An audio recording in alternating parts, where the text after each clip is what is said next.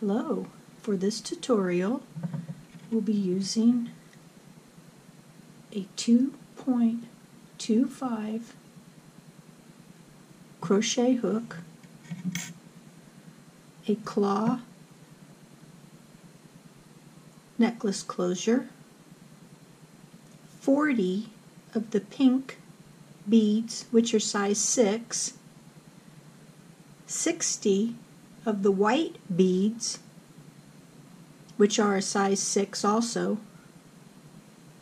I have here a beading needle that will fit into the center of these small beads.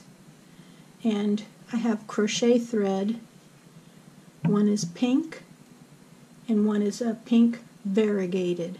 We will be using the two of them together To begin, you're going to want to thread your needle with the two threads of the crochet. What I usually do is I get them wet and then I squeeze them together so that they're kind of flat while they're wet and then I feed them through the eye of the needle and it does go through quite easily.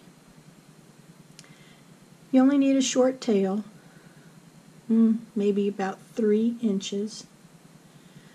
And the first thing we're going to do is we're going to load on three white beads and two of the pink beads.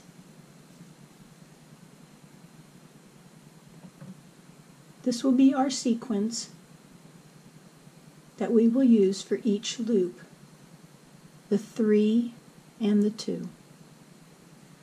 Continue filling your thread with these beads with white 3 and pink 2 until you have them all loaded on to your thread. After you have loaded all your beads on your thread, you should end with the last set being white. White. And at this time, you can go ahead and remove your beading needle.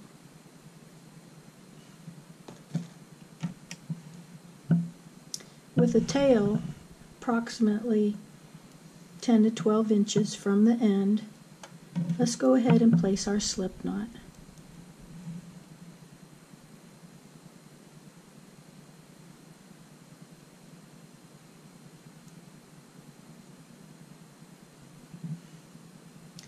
And we're going to bring up the first set is three whites and three pinks. But we're going to bring up two sets to begin with. We have not started our repeat yet.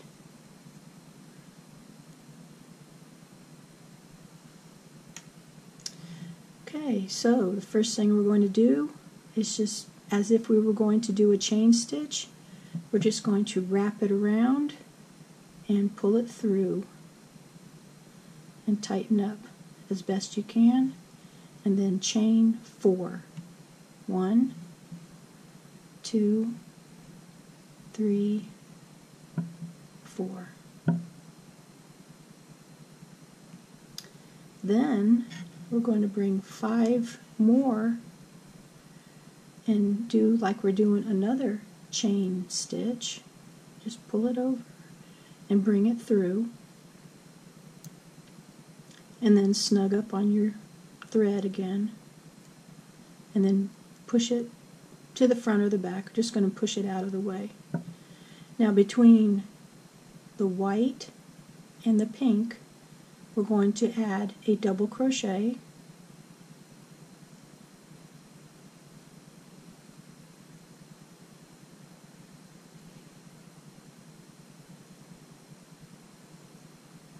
and then we're going to add four more for a total of five double crochet.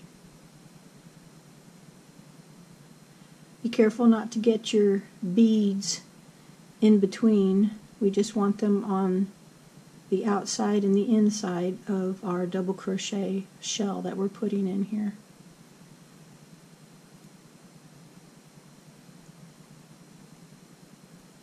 One, two, three, four, and here's our fifth one. The reason why I chose variegated is because with the shade of pink, it'll add some color and dimension as it'll go along. So, this is where our repeat will begin. This setup was only for our beginning. So let's pull in five more beads. But at this time, take the rest of your beads and kind of slide them down your your thread because making the double crochet stitches does take up extra thread. It's easier to pull it back than to have it in your way as you're crocheting. And then we're going to do like another chain stitch and snug it up. Take your work. I'm right-handed so I'm turning it to the right. And here we're going to do another set of five double crochets between the white and the pink. Kind of reminds me of a cherry blossom tree. Spring coming. So beautiful. If you've ever seen cherry blossom petals fall from the tree, it looks like snow gracefully falling to the ground. It's absolutely beautiful. Here in the United States, they have the Cherry Blossom Festival every year, and I try to go because I love seeing the trees all in bloom, and it's just so beautiful. So here's, we're adding on our shell, and as I said, we're continuing on. This is another part of our repeat from what you do from now on until we get towards the end will be the same repetitious stitch. So here we're going to act like we're chaining on with our five added beads. Take it, twist it to the right. Now in between the white and the pink, we're going to add five double crochets. Sometimes it's tricky at first to get that first stitch in there, but it does does take a little encouragement and it does go very well. So there's one,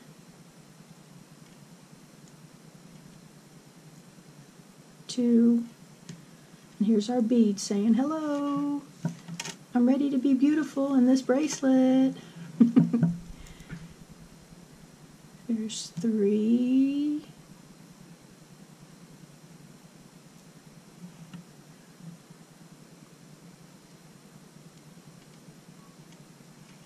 Here's four, and here's five.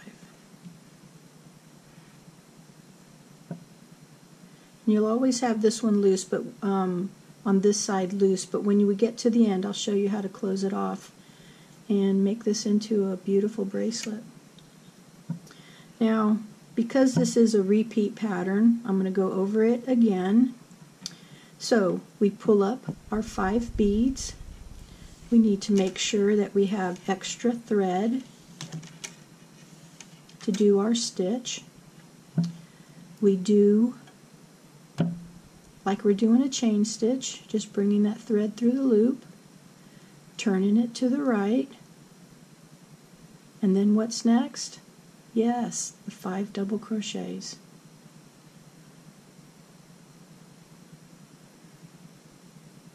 There's one,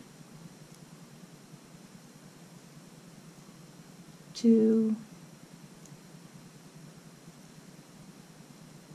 three,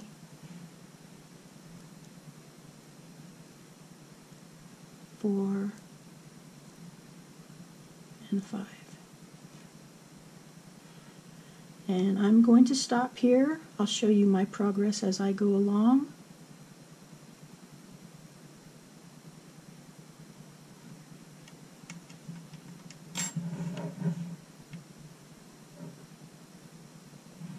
Continue on. Here I am showing my progress. I have completed quite a few of these and I have a few left. This will be big enough to fit on my wrist and I think it looks very nice. Keep on going and we'll meet you when it's time to finish. Well, I have come to the end of my bracelet, so I wanted to show you how I finish it. Sorry for my hoarseness. I believe I might be catching something with all this hot and cold weather we're having. So, when you get to the end, you want to go up and you want to go in between the two beads and make a slip a slip stitch. Okay? And then you want a piece of thread long enough.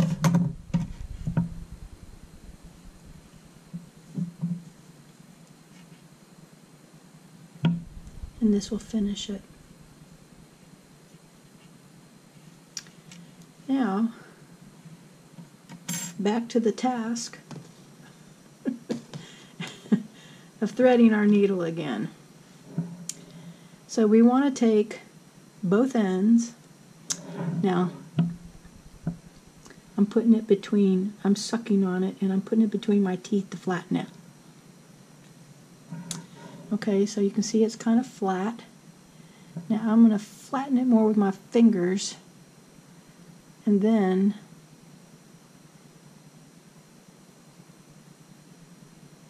it does go through. Takes a little coercing, but it does go through.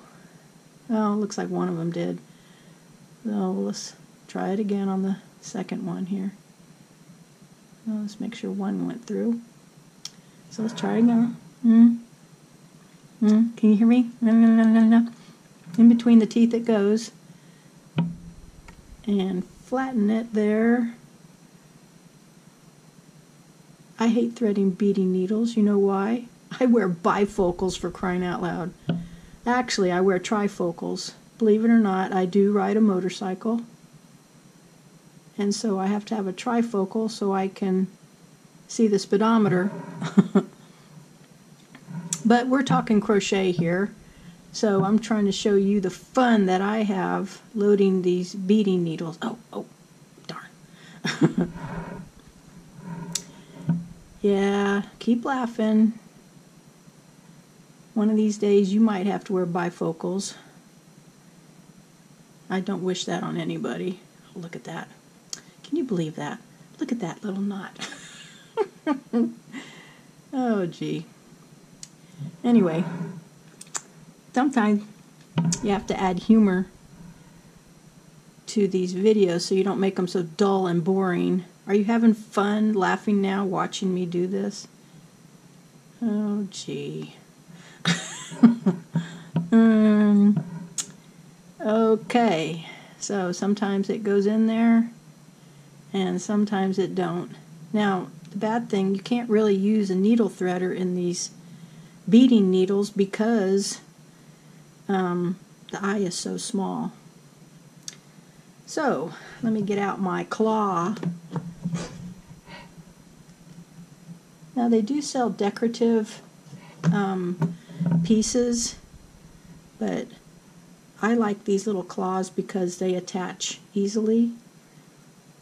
So we're putting it on. It's all the way down here at the end. Let's go through this. I'm going to go through it a couple of times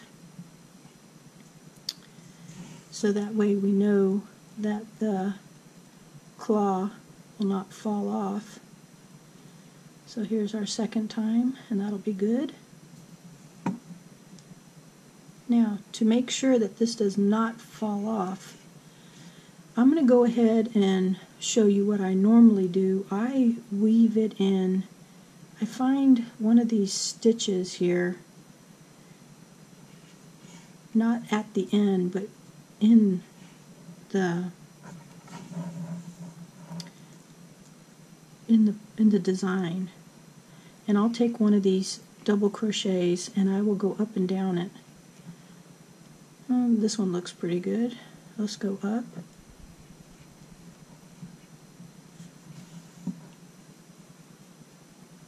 And then we'll go down. See, because you're not really distorting the double crochet.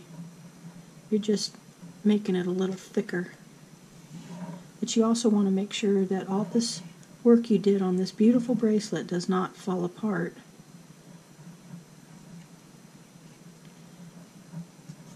So here I'm weaving and weaving. And I'm going to go over this way.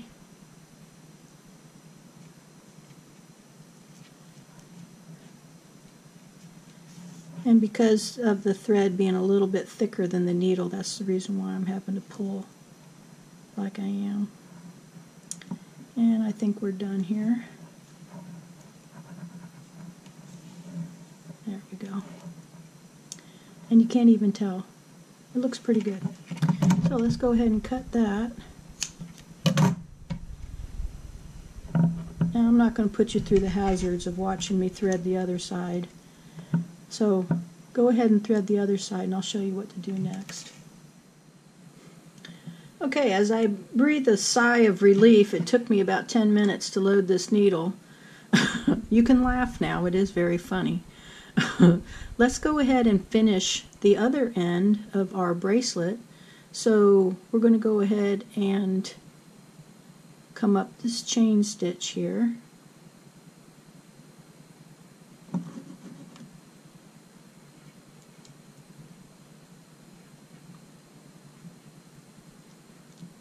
And like I said the thread is a little bit bigger than the beading needle. I could have went to a larger needle but because the crochet is small as well I decided not to. So let's work our way over to another double crochet. And I think I'm going to go to the second set which will not be this set here, it'll be this set here. And let's just weave in and out so that we can lock this side in.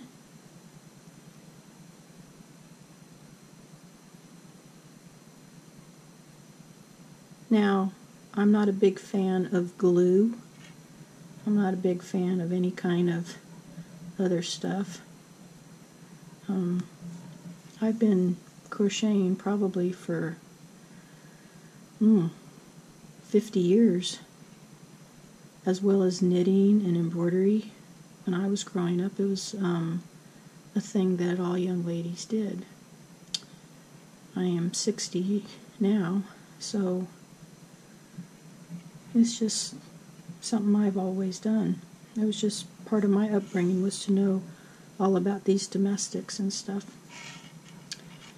So I learned from my grandmother. Bless her heart. She was very patient and very kind. I miss her. So, as we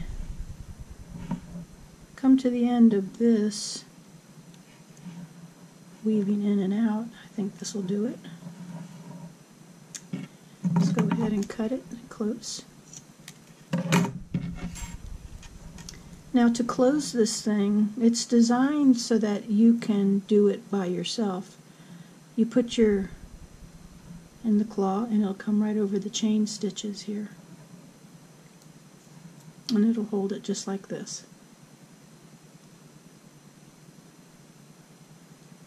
So if I had to put this on, I could do, oops, of course it's because it's on camera, Let's try it this way. Okay, so I can take the claw here. Well, you get the idea. Crying out loud. uh, I hope you enjoyed this video. I enjoy sharing these things with you. Crochet is such a big part of my life, part of my upbringing.